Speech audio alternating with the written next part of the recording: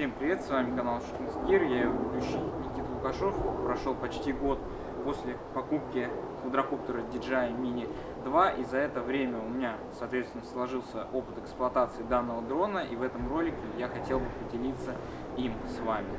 Приобрел я этот дрон в декабре 2020 года в магазине DNS за 60 тысяч рублей. Это комплектация Flymore Combo. Это означает то, что в комплекте идет три дополнительных аккумулятора и вот такая вот сумочка. Начнем с качества съемки. Считаю это одно из главных, что есть в дроне. Оно лично для меня в этом дроне на очень высоком уровне. Конечно, не сказать, что прям идеально, но этот дрон умеет снимать 4К при 30 кадрах в секунду. Матрица установлена в нем на 12 мегапикселей. Получается неплохие видео, неплохие фотографии. Единственное, в отличие от более дорогих моделей квадрокоптеров этого же производителя, при съемке вечером и ночью появляется шум на картинке и, конечно, может кого-то это не удовлетворить, но даже съемка на этот квадрокоптер вечером и ночью меня вполне удовлетворяет. Хотел бы еще добавить по вечерней ночной съемке, если вы хотите получить более хорошую картинку на этот дрон, лучше снимать в ручном режиме и выбирать параметры настроек съемки самим. Так качество картинки будет более лучшее, но чтобы снимать в ручном режиме, все-таки нужно какое-то время поуправлять дроном и не сразу начинать снимать в нем. Следующее, о чем мы поговорим, это качество сборки, качество материалов и, собственно говоря, размеры дрона. Дрон сделан из пластика. Я вам скажу, что он достаточно качественный, не какой-то там самый дешевый.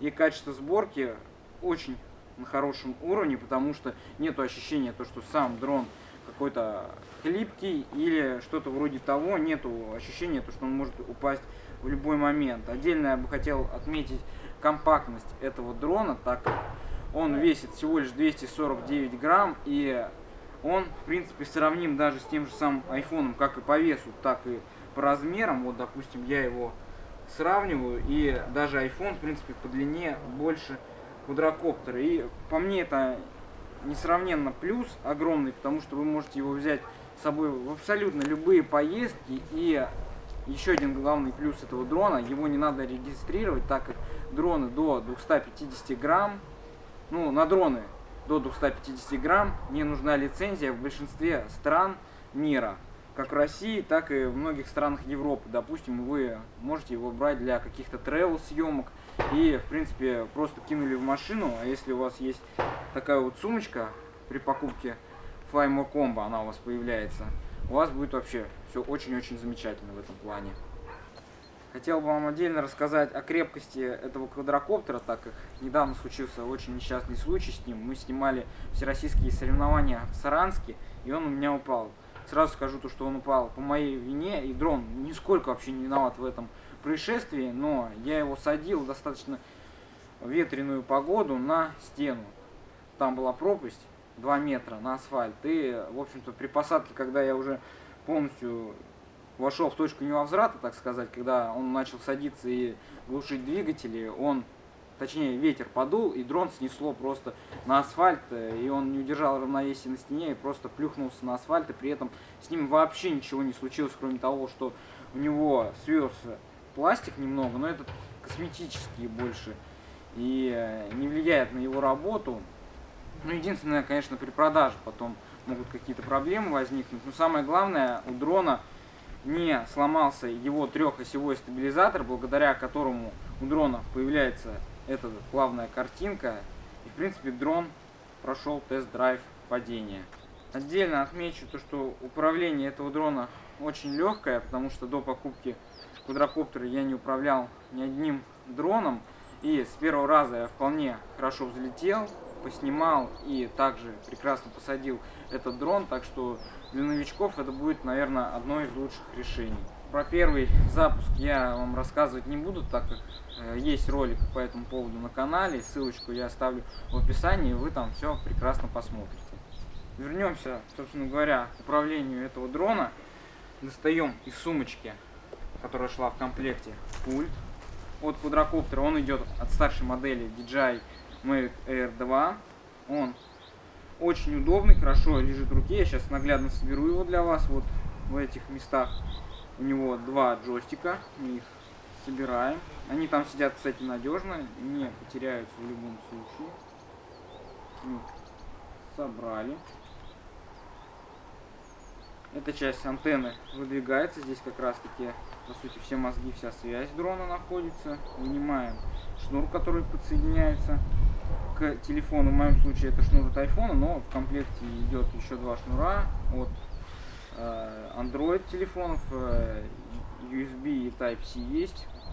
Ну, в принципе, пульт очень хороший, как я уже сказал. Меня он полностью устраивает. У дрона, кстати, есть три режима съемки. Это режим Sign, Normal и Sport. Соответственно, Sign это кинематографический режим, при котором дрон летает плавно и вы получаете очень приятную плавную картинку. Нормальный режим он летает, в принципе, достаточно быстро в нем, в режиме спорт он вообще просто как машина. Где-то 60-70 км в час максимальная скорость этого дрона. И при этом этого вполне хватает для новичков. И большего я скажу вам не надо. Посмотрим, что еще есть в этой прекрасной сумочке. Пульт квадрокоптер уже на месте. Также в комплекте у нас шел зарядник. Ну, ничего особенного здесь нет, он на Type-C. В принципе, им можно даже телефон Samsung, Android любой заряжать. Также идет в комплектации Flymo Combo 3 аккумулятора. Сразу скажу про аккумуляторы. То, что одного аккумулятора хватает где-то на 20 минут. Хотя производитель заявляет о том, что хватает где-то на 30 минут, но, как вы знаете, то, что заявляет производитель, не всегда является правдой. А в зимних условиях аккумулятора одного может вовсе хватить всего лишь на 15-16 минут. Это, конечно, очень печально, даже этого времени хватает. Так что я не вижу смысла покупать обычную комплектацию без трех аккумуляторов, потому что, во-первых, вы взлетите и сразу же сядете, ничего не успевая заснять. И при этом, чтобы дождаться, пока зарядится этот аккумулятор, придется подождать достаточно длительное время. Также вот у нас здесь есть вот такие вот штучки, которые помогают нам перевозить спокойно дрон. Это вот защита для камеры при перевозке, а это для пропеллеров, чтобы их удобно сложить. Я, может, в конце ролика покажу, как это делается. Ну и покажу, как, соответственно, достается батарейка и вставляется в дрон. Вот мы достаем, они у меня все заряжены. Получается, здесь у нас место, куда вставляется батарейка у дрона. Мы ее вставляем. Вот и включаем дрон. Нажимаем один раз и второй. Вот вы видите, дрон включен. Все вполне просто и понятно. Ну, честно говоря, я не хочу растягивать этот ролик и говорить о том, как все делается. И кому интересно, можете написать в комментариях. Мы отдельный ролик напишем вообще, как все это работает. Хотел бы дать советы по съемке в зимних условиях, так как я приобрел квадрокоптер в декабре, и, понятное дело, я не стал дожидаться лета, чтобы его запустить, потому что производитель заявляет э, использование дрона возможно при температуре 0 градусов и до 40 градусов. Но я вам скажу то, что зимой летать можно, я бы сказал даже нужно, но прежде чем летать зимой, нужно держать аккумуляторы в тепле и ни в коем случае не заводить дрон с холодными аккумуляторами. И в принципе на этом все запреты можно снять по зимней съемке. Надо быть только аккуратным и следить в оба.